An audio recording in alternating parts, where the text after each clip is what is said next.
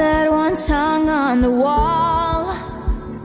Used to mean something, but now it means nothing. The